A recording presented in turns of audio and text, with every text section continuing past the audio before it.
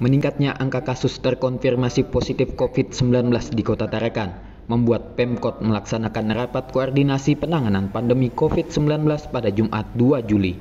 Rapat koordinasi yang mengundang sejumlah instansi terkait tersebut membahas bagaimana penanganan pandemi COVID-19 sebagai antisipasi terjadinya lonjakan signifikan kasus COVID-19 di Kota Tarakan.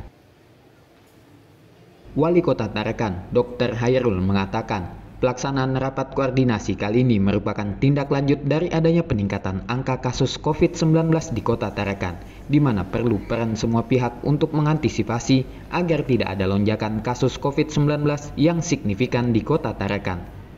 Fasilitas kesehatan yang memang menjadi rujukan bagi orang yang membutuhkan perawatan karena terkonfirmasi COVID-19 sebelumnya sempat kosong namun kini kembali terisi lagi seiring adanya peningkatan angka kasus COVID-19 di Tarakan. Seperti di Rumah Sakit Umum Kota Tarakan terdapat 6 pasien, Rumah Sakit Pertamina 9 pasien, Rumah Sakit Angkatan Laut 2 pasien, dan Rumah Sakit Umum Daerah Kota Tarakan 8 pasien.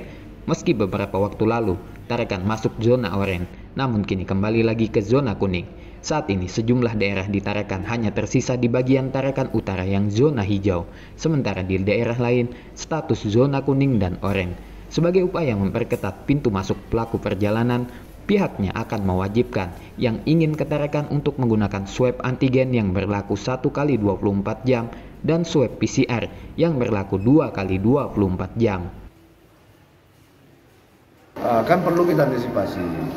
Kita tadinya dari zona kuning kemarin sudah masuk zona hijau eh, apa zona uh, oranye.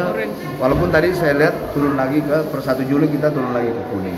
Sudah disimpulkan tadi yang mau masuk harus pakai minimal tidak boleh pakai genos minimal pakai uh, swab antigen yang berlaku satu kali 24 jam atau PCR yang dua kali 24 jam.